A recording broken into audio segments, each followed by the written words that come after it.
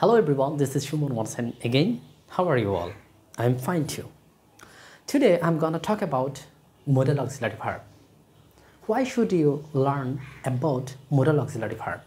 Obviously, modal auxiliary verb will help you to make sentence structure correctly and obviously politely.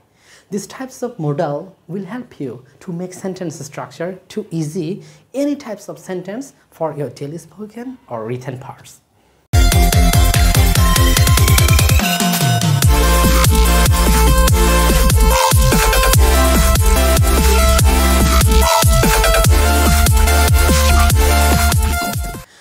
Before going to library discussion, please don't forget subscribe my channel and hit the bell icon for don't to miss on my next videos. Modal auxiliary verb আপনি আপনার বাক্যকে সহজভাবে উপস্থাপন করার জন্য এই moral auxiliary verb দিয়ে বাক্যগুলো ক্রিয়েট করতে পারেন আপনি চাইলে নিজের মতো করে এই মোডাল অক্সিলারি ভার্বগুলো দিয়ে স্বকীয়তা দ্যাট মিন্স এগুলোই প্রত্যেকটার প্রত্যেকটার নিজস্ব স্বকীয়তা মেনে, নিজেদের ক্যারেক্টার মেনে তারা নিজেদের মতো করে বাক্য তৈরি করে।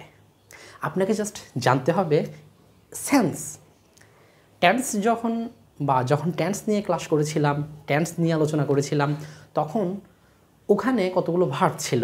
ভার্ব ছাড়া কতগুলো না? প্রত্যেকটা সেন্টেন্সেই তো ভার্ব হলো বাক্যের হার্ট হৃৎপিণ্ড বলা যায় ভার্বকে তো তখন অতীতে বা বর্তমানে বা ভবিষ্যতে যে কাজগুলো হয়েছিল বা হবে বা হচ্ছে প্রত্যেকটাতেই ভার্ব নিয়ে টেন্সের মধ্যে বাক্যগুলো ক্রিয়েট হয়েছিল।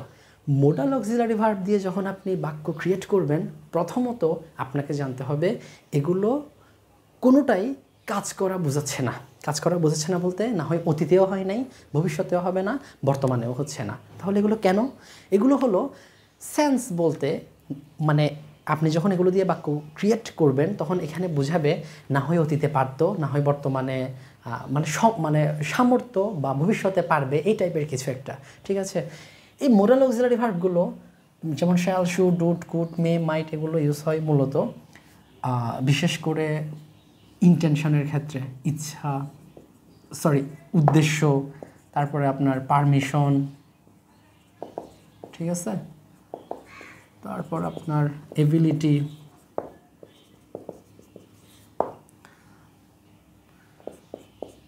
পসিবিলিটি ঠিক আছে? এগুলোর ক্ষেত্রে বিশেষ করে মোডাল অক্সিলারি ভার্বগুলো ব্যবহার করা হয়ে থাকে। এখন এখানে আপনি এগুলো দিয়ে কীভাবে বাক্য ক্রিয়েট করতে পারবেন? জাস্ট আমি আজকে এগুলোর বৈশিষ্ট্যগুলো একটু বলে দেই। এগুলোর সাথে কখনোই অ্যাস বা ইএস যুক্ত হবে না। যেমন সেটা কেমন? আমরা প্রেজেন্ট ডেফিনেট টেন্সে থার্ড পার্সন সিঙ্গুলার নাম্বার হলে সেগুলোর সাথে কী করতাম? ভার্বের সাথে এস বা এস যুক্ত করতাম। এই ভার্বগুলোর সাথে এস বা এস যুক্ত করতে হবে না। এগুলোর কোনোটাই, কোনোটার প্রেজেন্ট ফার্স্ট ফিউচার ফর্মে নয়। আমি প্রথমেই বলেছি এগুলোর প্রত্যেকটায় প্রত্যেকটার স্বকীয়তা। নিজের মতো করে বৈশিষ্ট্য বহন করে আপনি আপনার প্রয়োজন অনুযায়ী ব্যবহার করবেন। এই চারটার মধ্যে যে কোনো একটার মধ্যে পড়বে। আমি যখন স্ট্রাকচার নিয়ে কথা বলব, তখন আপনি বুঝতে পারবেন। যেমন, এখানে দুই নাম্বারটা চলে গেল। তারপর বলতে পারি, এগুলোর সাথে কখনো আইনজি যুক্ত হবে না। এই ভার্বগুলোর সাথে, যেমন শ্যালিং শুটিং এই টাইপের কখনোই হবে না। তারপর এগুলোর যে এই ভার্বটা ইউজ হবে, তারপর একটা বেস ফ্রম থাকতে হবে। বেস ফ্রম থাকতে হবে। তারপরে মনে করেন আপনার এগুলোর কখনো ইনফিনিটিভ ফর্মে যেমন টু শ্যাল মানে টু দিয়ে এগুলোর কখনোই ইনফিনিটিভ ইনফিনিটিভ ফর্মে কি হবে না ভার্ব গঠন হবে না। এখন এগুলো দিয়ে কীভাবে আপনি সেন্টেন্স গঠন করবেন, তার কয়েকটা বৈশিষ্ট্য সহ কীভাবে আপনি নিজের মতো করে বাক্যগুলো ক্রিয়েট করতে পারেন, সেগুলো আমি বোঝানোর চেষ্টা করছি।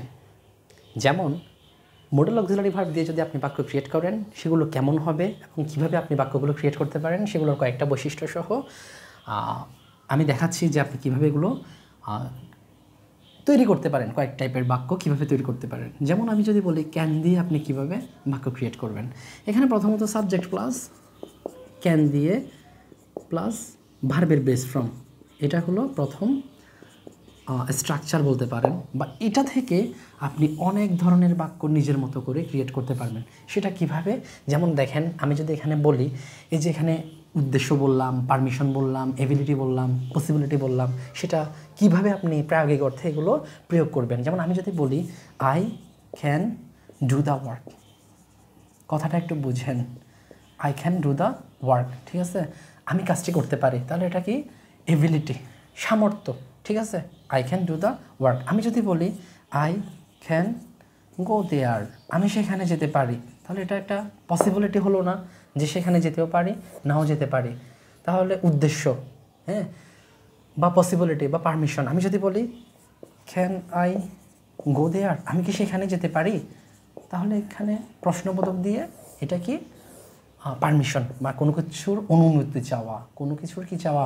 অনুমতি চাওয়া। তাহলে এই যে ক্যান দিয়ে আমি আমার মতো করে, নিজের মতো করে বাক্যগুলো ক্রিয়েট করছি, এখানে আমি সামর্থ্য দিয়ে বলছি, এখানে আমি সম্ভাবনা দিয়ে বলছি, এখানে আমি পারমিশন দিয়ে বলছি, তাহলে এভাবে আপনি নিজের মতো করে বাক্যগুলো ক্রিয়েট করতে পারেন।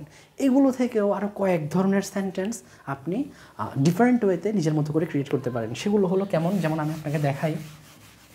যেমন আপনাকে যদি বলি যে he can have a garden তার একটি বাগান থাকতে পারে। চিন্তা করে দেখেন, এই ক্যান দিয়ে কি থাকতে পারে? সম্ভাবনা, তার একটি বাগান থাকতে পারে।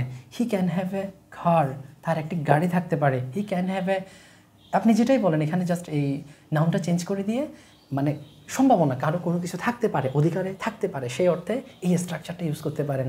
এখন আরও একটা স্ট্রাকচার যদি বলি, যেমন হি ক্যান বি অনেস্ট তাহলে দেখেন, সে কি হতে পারে? সৎ হতে পারে। যেমন আপনি একজন মানুষকে চিনেন না, সে কেমন হবে?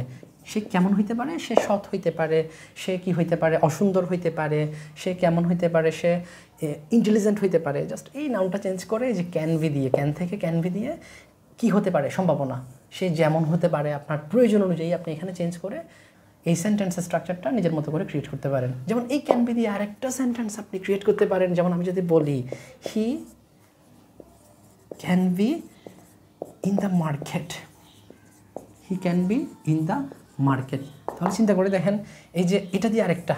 আপনি যদি বুঝতে পারেন, সে কোথায় থাকতে পারে? এটা তো সম্ভাবনা ছিল যে আমি জানি না, সে অনেস্ট হবে, সুন্দর হবে, অসুন্দর হবে। হি ক্যান বি দিয়ে জাস্ট এটা চেঞ্জ করে নিজের মতো করে একটা বাক্য ক্রিয়েট হলো। এখন আরেকটা ক্যান বি দিয়ে যদি আমি বলি he can be in the market সে বাজারে থাকতে পারে। He can be in the hospital সে হসপিটালে থাকতে পারে। He can be in the আপনার প্রয়োজন অনুযায়ী জাস্ট এটা চেঞ্জ করে দিলেই বাক্যগুলো ক্রিয়েট হয়ে যাচ্ছে। তাহলে এই ক্যান দিয়ে আমি এখানে চারটা বাক্য সেন্টেন্সের স্ট্রাকচার ক্রিয়েট করেছি শুধুমাত্র এই ক্যান দিয়ে।